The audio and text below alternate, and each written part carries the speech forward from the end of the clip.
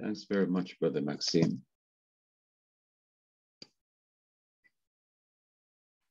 No problem, sir.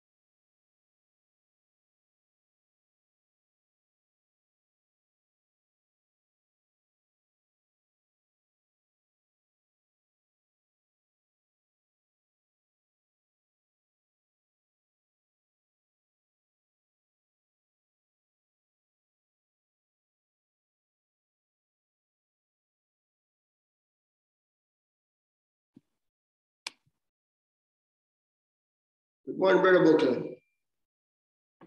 What class? Oh, here. All right.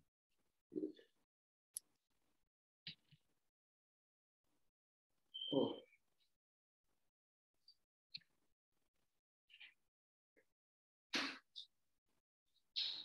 All right, so we're going to go on Sundays. Oh, going on back on Sunday? Yeah, we're going on Sunday. Okay. All right. Okay, all right. Um,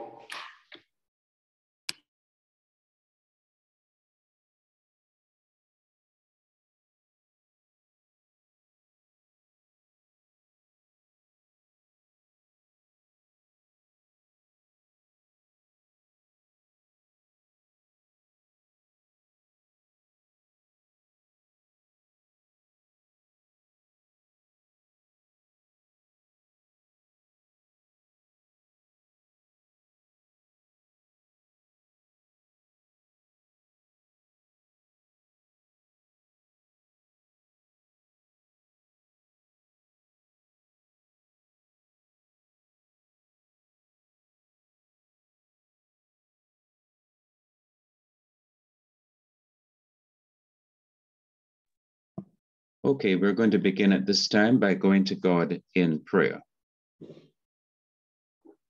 Father in heaven, I pray a blessing upon the students. I pray a blessing upon myself. May you give us an understanding mind that we can grasp any new idea that will be taught today. We pray that you'll help us to apply what we learn in our efforts to share the gospel with others. We pray that you may also give us an understanding heart that we can use our communication skills to build up the body of Christ.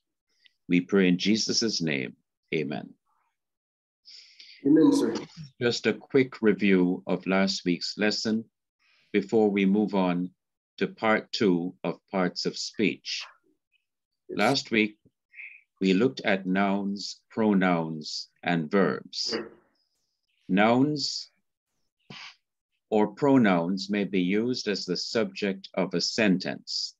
The subject noun or pronoun is a person, place, or thing that is spoken of or written about. For example, the preacher, that is the noun.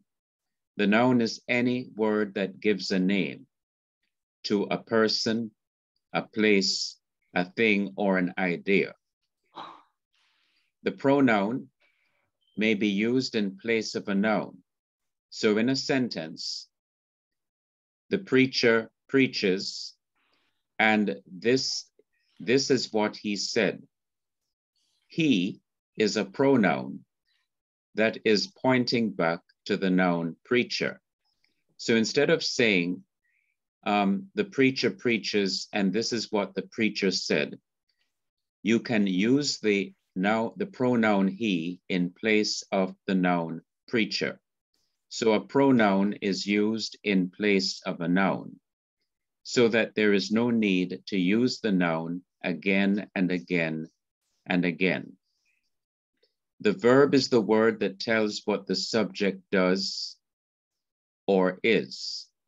For example, preaches. A group of words is not a sentence unless it contains both a subject and a verb. Okay, I'm in the process of changing the screen.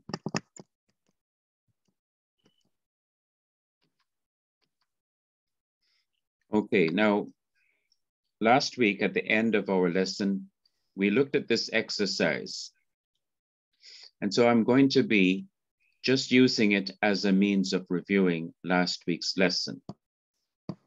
Last week's lesson is um, noun, pronoun, and verb, three parts of speech. So number one, God loved. God is a noun and which is the subject of the sentence, and loved is a verb. Number two, Jesus died. Jesus is the noun and the subject of this sentence, and died is the verb. Three, Jesus arose. Jesus is the noun, and arose is the verb. Jesus is the subject of the sentence. Number four, Jesus saves. Jesus is the noun, and the verb is saves. Jesus is the subject of this sentence. Number five, God forgives. God is a noun and is this, he is the subject of this sentence. Forgives is the verb. Six, you believe. You is the pronoun used in place of whatever noun is, is there, and believe is the verb. You is a pronoun and is the subject of this sentence. The same is true with the other sentences you, you, you, and you. They're all pronouns. Sorry. They're all pronouns and they form the subject of the sentence. And the next word is a verb repent, confess, are baptized, are saved. They're all verbs that express some action. Sorry. Okay, so that is what we studied last week. Now, are there any questions that remain for lesson one? Any question about a noun, a pronoun, or a verb? Okay. Okay, before I go any further, is Solomon is Solomon there on the online platform? I don't think she is right here at, at this moment. I don't know what reason. Okay, that's fine. Is Medalus here? Yes, Medalus is here. All right. Here. What about Pierre? Is Pierre here? here? Do you see Pierre? All right. The only person I can see right now on the screen is Enrico. That's why I'm asking. All right, so let me just mark those that are here as present. So is, is Pierre here? Don't know if the answer was given. Uh, Medalus, do you see Pierre there?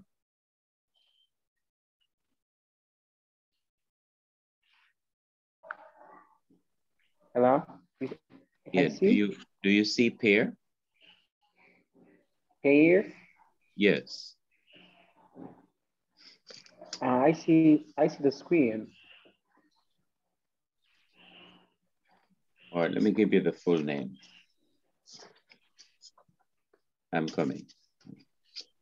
Do you see Fredolin Pierre? Fredolin Pierre.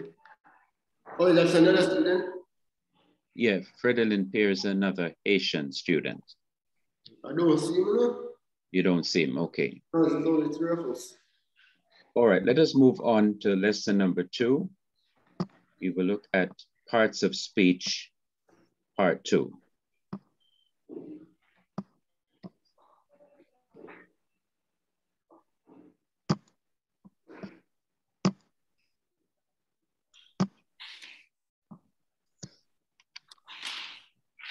The general objectives of this lesson are one, to define the direct object of a verb. Two, to identify the relationship between the subject and the direct object of a verb. Three, to identify what questions to ask the verb in order to find the direct object of a verb. Four, to define an adjective. Five, to identify the relationship between a noun and an adjective. Six, to define an adverb.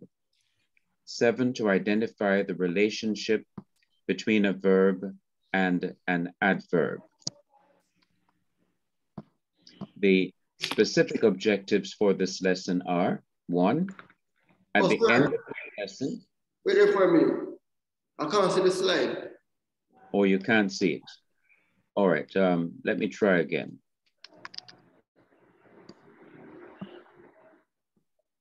All right, I'm going to share the screen from the beginning.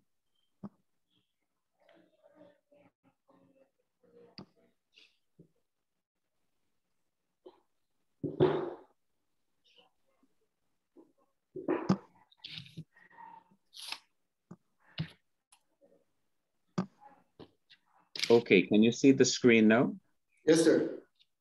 All right.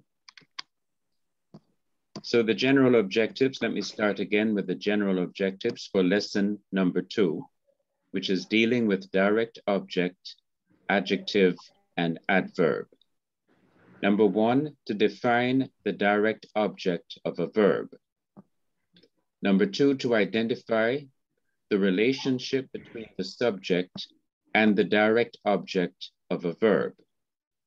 Three, to identify what questions to ask the verb in order to find the direct object of a verb. Four, to define an adjective. Five, to identify the relationship between a noun and an adjective. Six, to define an adverb. Seven, to identify the relationship between a verb and an adverb.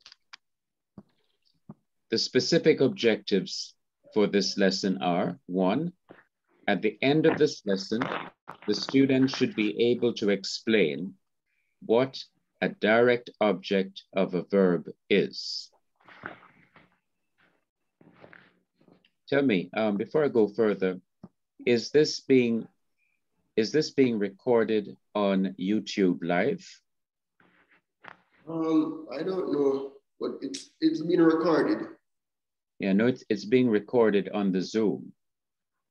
Do, do you know how to put it on YouTube live? Uh, uh, no, sir. Um, Maxime is gonna do that. Okay, let me look.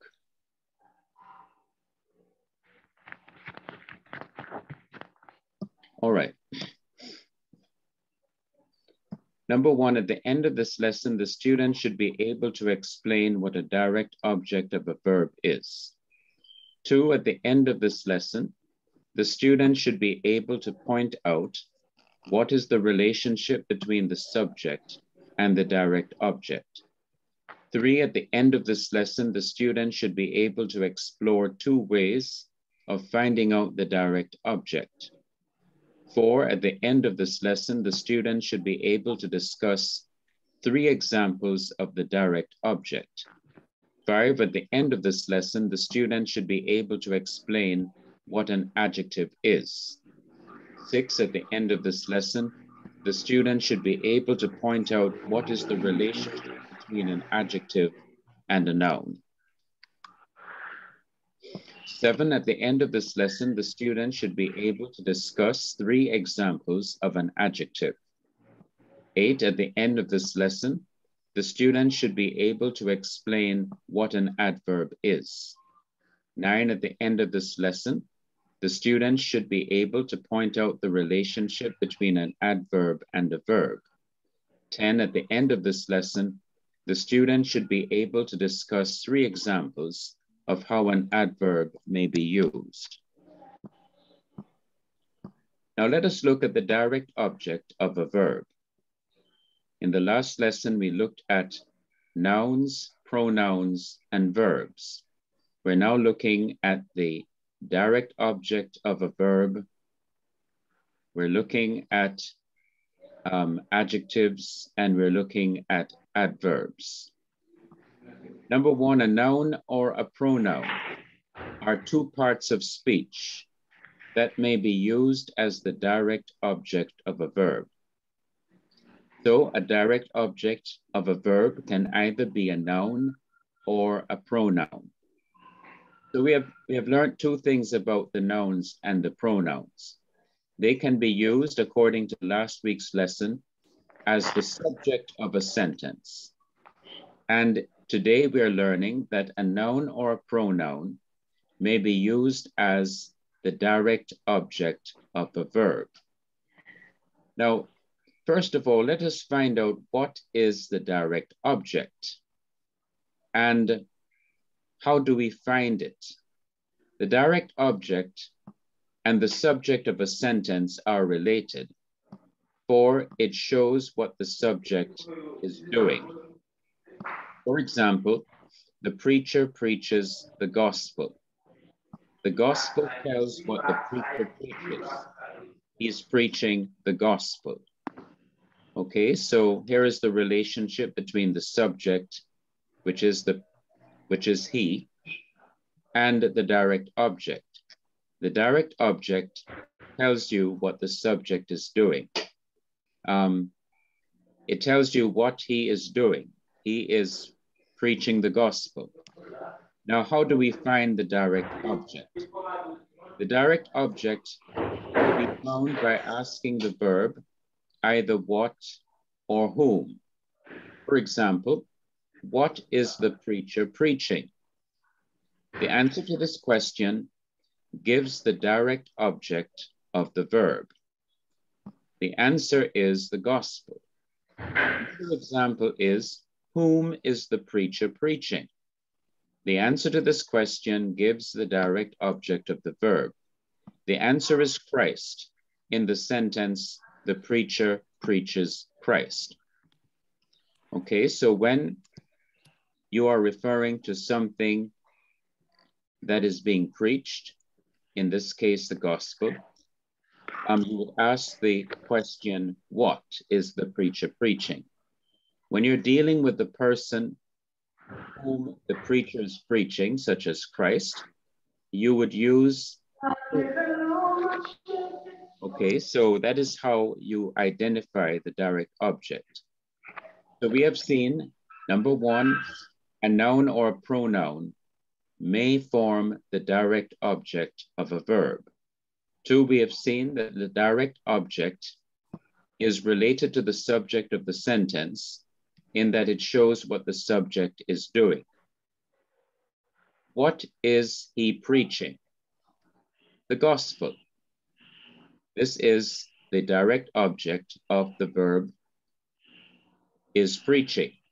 It tells you what the subject, he, is doing. And then how do we find the direct object? We can ask the verb, which in this case is preaching. What is he preaching? And the answer is the gospel. If he's preaching Christ, we may ask another question of the verb. Whom is he preaching? And the answer is Christ. The preacher preaches Christ. Now let us do a little exercise here. So I'm going to start with en Enrico. I'd like you to, to answer the question for this number one here. It says the preacher preaches the gospel. And I would like you to answer this question. What is the preacher preaching? Preacher is preaching Uh, Yeah, what, what is the preacher preaching? What is the preacher preaching? Yeah, he's preaching the gospel. Correct. So if we're going to find out the direct object of the verb, we need to ask the verb, whatever verb it is in a sentence, the question, what? What is the subject doing? Now, since the subject of this sentence is preacher, I've used the word preacher, but it may be some other noun. What is the noun doing? What is the preacher preaching? And the answer to that question gives you the direct object of the verb, whatever the verb is. In this case, it is gospel. He is preaching the gospel. Now, let me go to um, Medellus. Okay, I'm ready. The preacher preaches Christ. So, whom is the preacher preaching? Medellus. The preacher is preaching Christ. Okay, so the answer in this Is sentence Christ. is Christ. And Christ then is the direct object of the verb preaches. So when it is something that is preached, you ask what? When it is someone who is being preached, you ask whom. And the answer to the questions will give you the direct object of the verb in the sentence. Let me go back to Enrico. Here is the sentence God loved the world. So, my question to you is Whom did God love? The world. That is correct, the world. And so, world is the direct object of the word loved.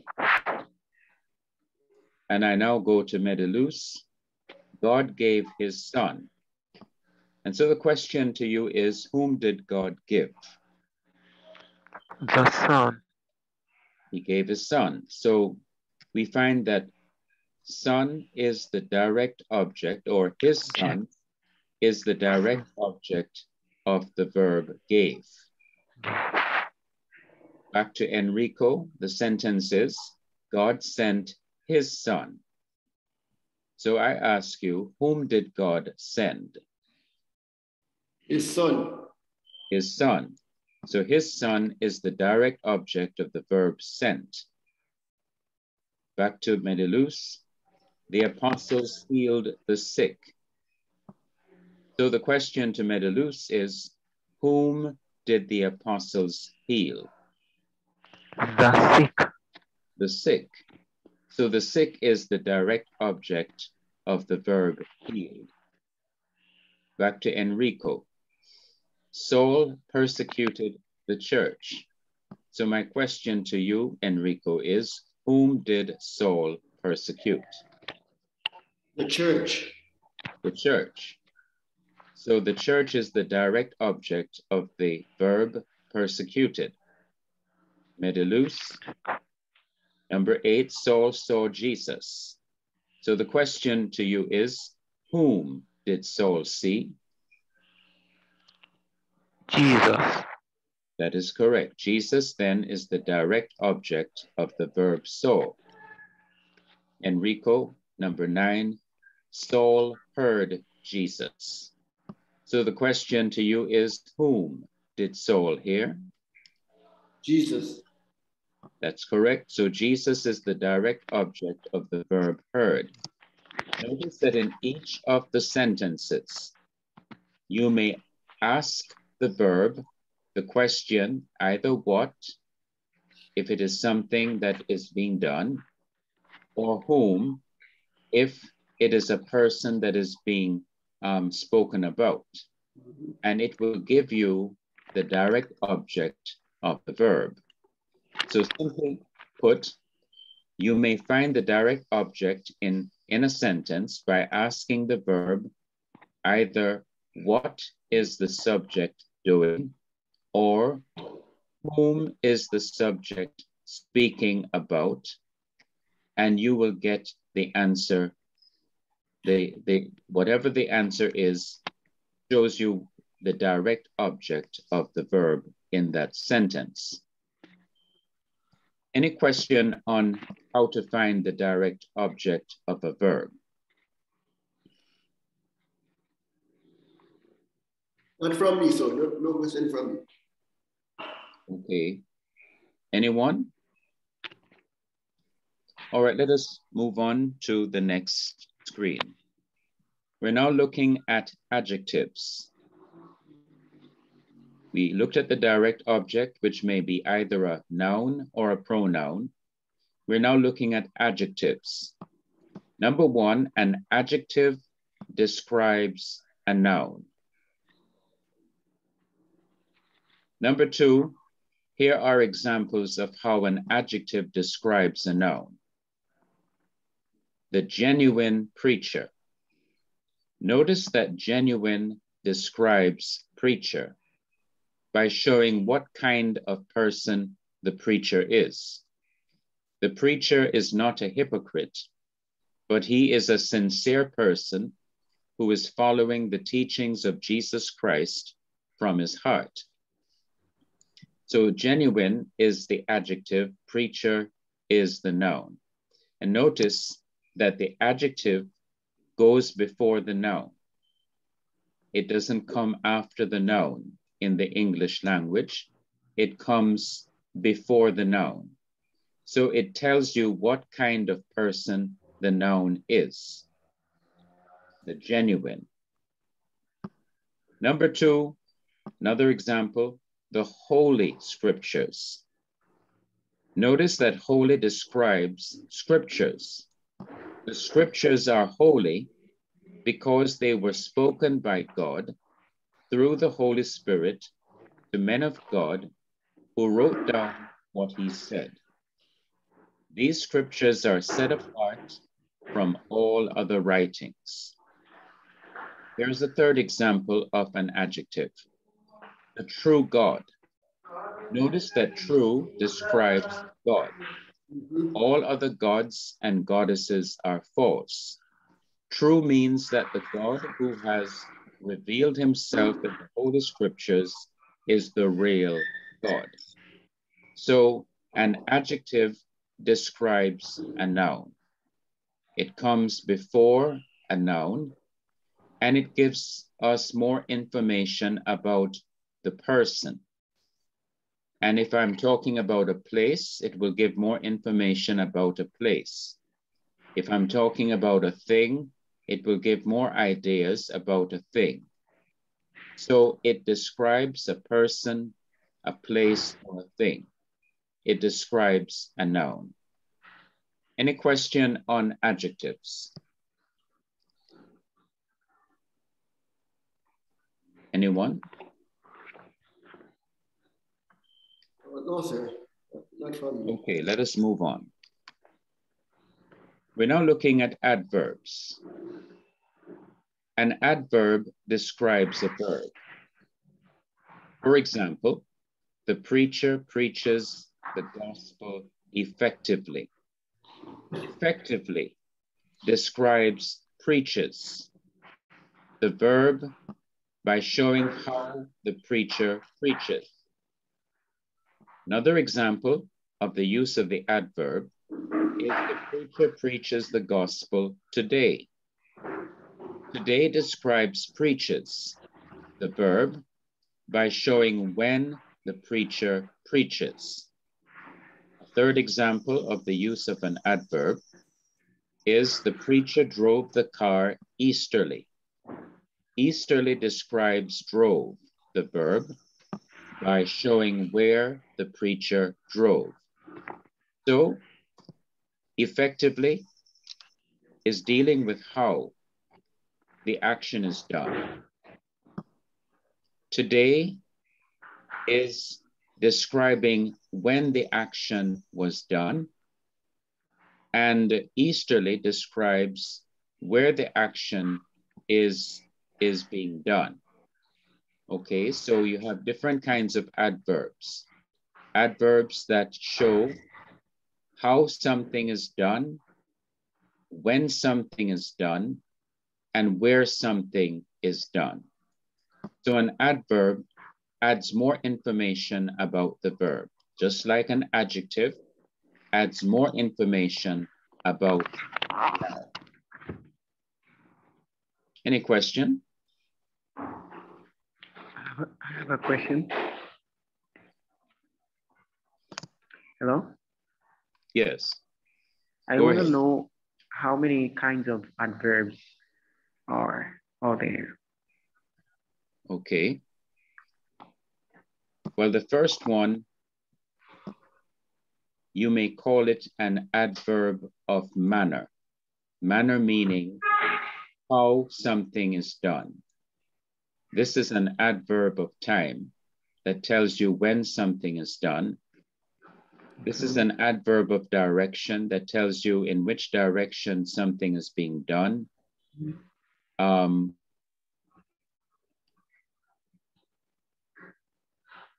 Um, these are what I, I remember. These are the basic uses of adverb. Um, the, the manner in which something is done, Mhm. the time when something is done, and the direction or the place where something is done. Okay, I understand. Yes. Okay, now what I want you to do at this time, let me see the time. What I want you to do, you can you can write it down on paper. Um, I want you to put in capital letters the direct object in these sentences in the first paragraph. Then in the second paragraph, I want you to put in bold print, that is, you can make the print dark um, the adjective in these sentences. And then in the third and last paragraph, I want you to put the adverb in italics. That is, you can make the letters lean like what you have in the word italics. Um, if you don't finish it now, you can finish it for homework, but let us see how far you can get. If you're having difficulty, you can let me know but you can go ahead and take out your notebook and I want you to do this exercise, paragraph by paragraph. Any question about the classwork?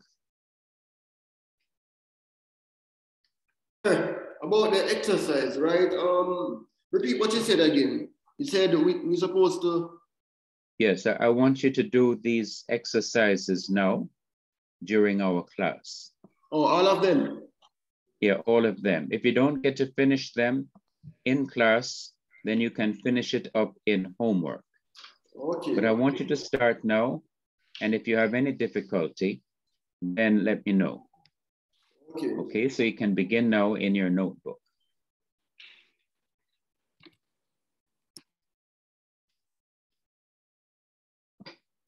Hello? Yes, Mendelus.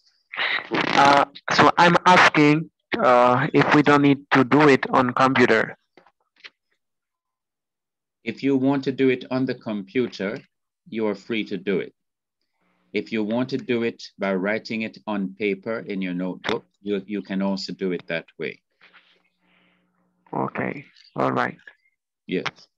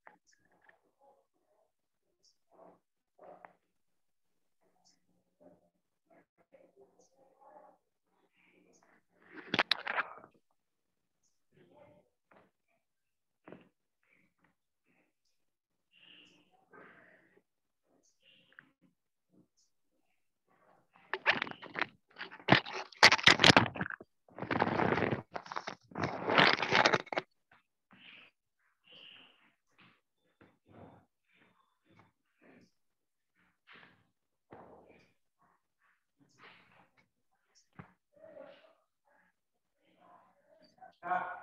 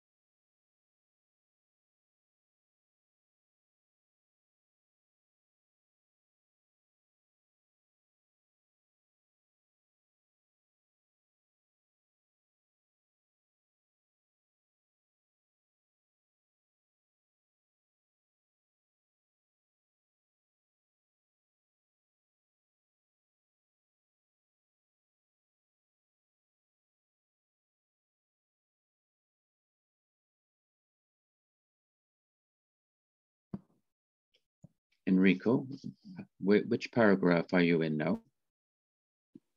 Um, you know, I did make a mistake, so I did have to start back um, because it never looked like, it never looked presentable, you know? So I did have to start back. But when you said uh, put in capital letter, put in bold and put in adjective, right? Um, italics, that last paragraph, put the adverb in um, italics. Uh, I'm not really seeing much mistake, I don't know. Or, uh, okay. All right. Um, I'm going to be sending you this PowerPoint, so you'll have it in your PowerPoint. Okay. Whatever you have not done, you can finish it for homework, but I'm going to end the class now. So um, still save what you have done. Uh, if you're working on the computer now, save what you have done. Uh, I get to send up here to email. All right. So when you finish, when you finish, you can send it to my email, okay. and I will and I will look to see how well you have understood the lesson today. Okay. All right. So we're going to end now, but you're not going to lose anything. You will have this. This is the last screen, the last slide in the PowerPoint. Okay, so we're going to close at this time. I'll see you later. Hello? Uh, so okay, I finished then. my, I, hello? Or you finish? I finished doing mine, but I don't know your email so that I can send it through it. Okay, have you received any email from me? Oh, okay. I, I, I remember, I got it. Okay, well, if you have received emails, sorry, if you have received emails from last week, Thursday, um, and also, let me see, last week, Thursday, if you have received emails last week, Thursday, January 20, then that is my email. Okay, I, I remember that I received some uh, documents from you. All right, so you can use that. That is my email. Okay, I'll all right, and I'll see what you have done. Okay, thank you very much. God bless you all.